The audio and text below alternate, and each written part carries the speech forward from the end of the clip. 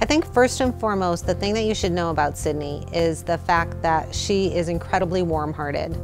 Um, I think all educators are, but with Sydney, it's the first thing that you notice. Sydney understands the, importance of relationship building and getting to know her kids. She works with some of our challenging students, is very patient with them, uh, takes her time in making sure that all of their needs are met, and also pushes them to make sure that they excel at what they're working at. So I've had an opportunity to work with Sydney this year with one of our most challenging students. Sydney knows from the moment this student walks in the door to the moment he walks out the door exactly what he needs from breakfast to a comb to a hug to getting work done. She will ask questions, the right questions, when she doesn't know something. She will research on her own time different things, different disabilities that students have so that she can better educate them.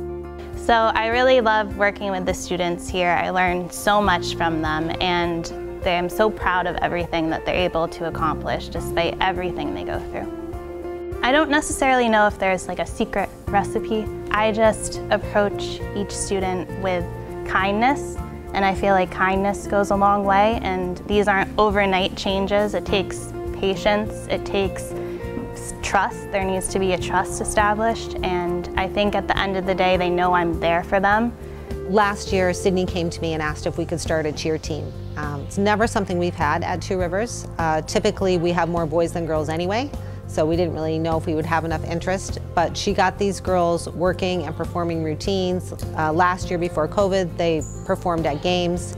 And this year, even during the pandemic, they were able to compete in and win a virtual competition. Um, and it's just given the girls just so much more engagement in school and proud of what they've accomplished. I was in gym class one day with another paraeducator, Miss Logan and we were discussing the amount of fighting that we were seeing in the hallways each day, and it was almost always amongst girls. So we wanted to give them something that would allow them to support each other instead of tearing each other apart. And I think that's what the cheer team has been able to do. Working with Sydney for the past three years to develop our cheer team has been phenomenal. She teaches our ladies that through hard work, dedication, and most importantly, unity, the sky is no longer the limit. Oh, so this year we won first place in the competition.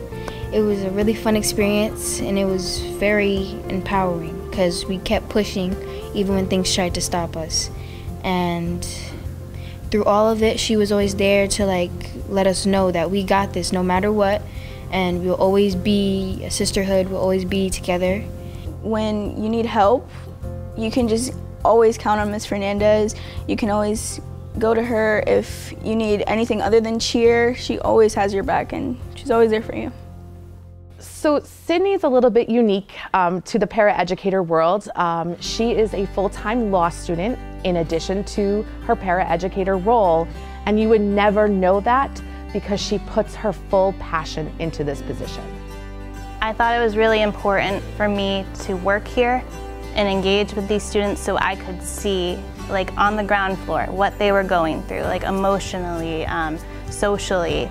I think this is just going to make me a more empathetic and caring lawyer. When Miss Fernandez started this cheer club, it really helped all the girls in the school. Thank, Thank you, Miss Fernandez.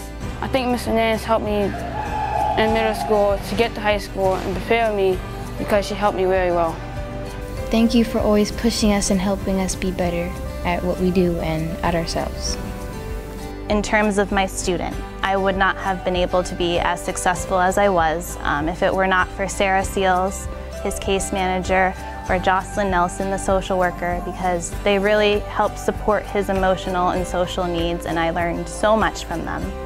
In cheerleading, you know, that was really important that I worked with Vanessa Logan. She brings such an energy and light to the team and I think it's also important to show the girls that, you know, you can't do everything on your own and we show that we work together. So in all this work, I think it's important to support each other. And you know, the kids see that, right? You have to be collaborative and work together.